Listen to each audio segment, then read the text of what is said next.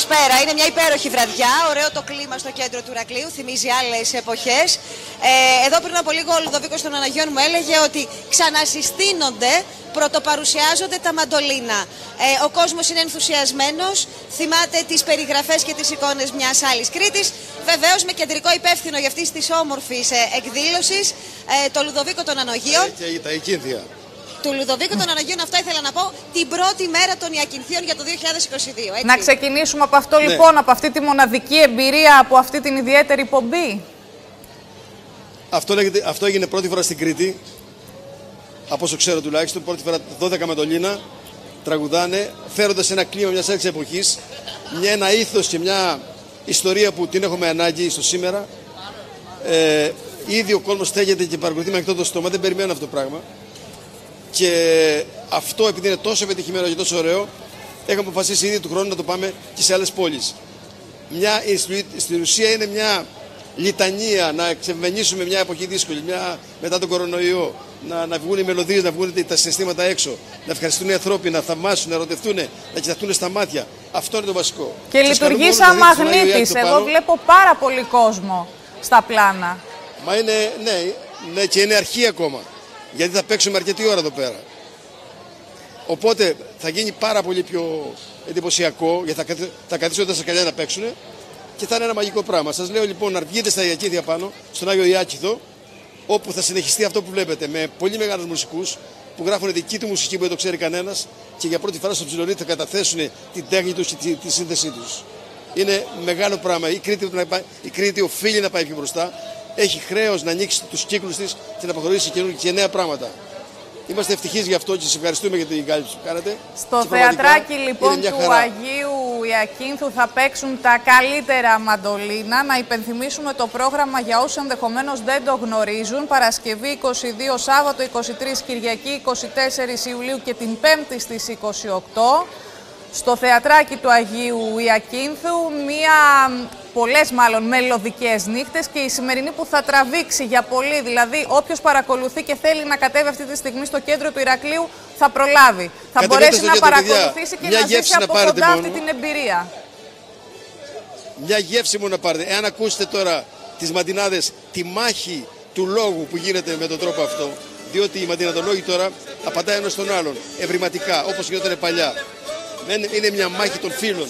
Είναι τόσο ωραία και σας καλώ να κατεβείτε στο Ηράκλειο τώρα, στο κέντρο όλοι. Ήδη η πλατεία του Τελειοντάρη είναι γεμάτη από κόσμο. Και είναι παρήγορο...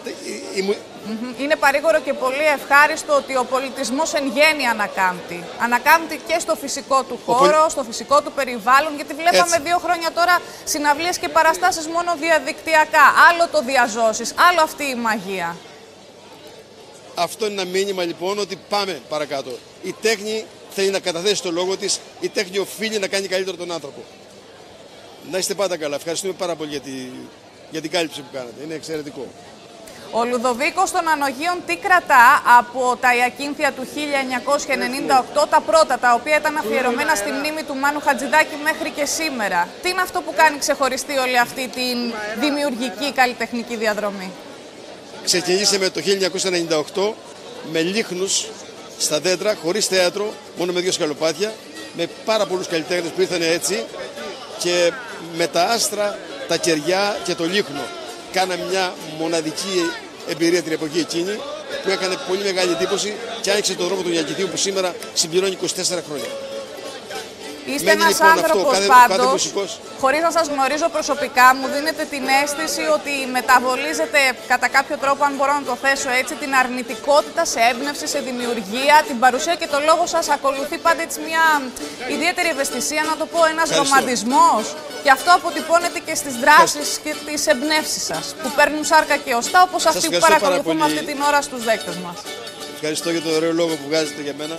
Σας ευχαριστώ και γιατί, γιατί ξέρετε, η Εκήθεια είναι μια συλλογική δουλειά με πολλές ευθύνε μαζεμένες. Πολλά παιδιά και πολλοί άνθρωποι που δουλεύουν και ομάδων Ιακηθίων και από παλαιότερα και πιο παλαιότερα. Είναι συλλογικό έργο και γι' αυτό καταθέτεται. Ξέρουμε ότι αυτό που είναι σημαντικό στην εποχή μας είναι το εμείς, το μαζί, το όλοι. Εάν πολεμήσουμε το εγώ, που αυτό βγάζει πάντα τα προβλήματα της καθημερινότητας, νομίζω μας αξίζει κάτι καλύτερο. Και θα το έχουμε. Ακούω τώρα ενώ σας, ενώ σας μιλάω, παίρνει το αυτί μου από αριστερά, ακούω τους τραγουδιστές μας εδώ. Δεν υπάρχει μαγικό πράγμα. Δεν υπάρχει μαγικό πράγμα αυτή τη στιγμή. Και είναι πολύ μεγάλη χαρά που το κέντρο του Ηρακλείου το δέχεται αυτό. Η μουσική πάντα ενώνει και δημιουργεί παρέες, ακόμα και μεταξύ αγνώστων. Όπως συμβαίνει, θα επαναλάβω, αυτή την ώρα στο κέντρο της πόλης και όσοι είναι στο Ηράκλειο και παρακολουθούν προλαβαίνουν. Είναι μια βραδιά που θα είναι κρατήσει. Το, είναι το διαχώρητο. Αλλά... Ευχαριστούμε. Ευχαριστούμε. Δεν αδικείτε, είναι τέλεια. Λοιπόν, είναι πυγμένος ο κόσμος. Ο καθένας παίρνει ό,τι καταλαβαίνει ό,τι μπορεί. Δεν σε μηχανήματα για να κάνουμε εντυπώσεις. Το κάναμε όπως έπρεπε να το κάνουμε. Να ακουστεί ο φυσικός ήχος στο, στο αυτή κατευθείαν. Χωρίς τη μεσολάβηση του ηλεκτρισμού. Είναι μια καντάδα παραδοσιακή. Είναι μια καντάδα της παράδοσης όπως από πάντα γινόταν στην πατρίδα μας. Η οποία καντάδα θα ταξιδέψει και αλλού, έτσι. Ναι, από τον χρόνο θα το κάνουμε και σε άλλες πόλεις. Στο Ρέθυμνο πρωτίστως. Πολύ ωραία. Ράνια, δεν ξέρω αν έχεις να συμπληρώσεις κάτι άλλο αναφορικά με το κλίμα, την αίσθηση ε, που εισπράττεις. Νομίζω ότι όσοι βρίσκονται εδώ αναπολούν άλλες εποχές. Είναι σαν να διαβάζεις ε, κορνάρο, να πω. Είναι σαν ναι. να διαβάζεις ε, όμορφες ματινάδες για την αγάπη, για τον έρωτα. Είναι σαν να βλέπεις την αρετούσα να έρχεται από το πάθος. Σαν να μυρίζεις λουλούδια. Ναι, ναι, σαν να έρχεται η αρετούσα από το παρελθόν. Ξύπνησε με τα ωραία της φορέματα και έρχεται να μας να μας ευχαριστήσει. Κατερίνα, αυτό είναι το κλίμα στο κέντρο του Ηρακλείου. Μπορούμε να πάρουμε μισή γεύση από τον Ιβανίλη. Βεβαίως, να σας ευχαριστήσω θερμά και τους δύο. Λίγο, λίγο ήχο και, και εικόνα ακόμα για να περάσουμε έτσι όμορφα και μελλοντικά σε διάλειμμα.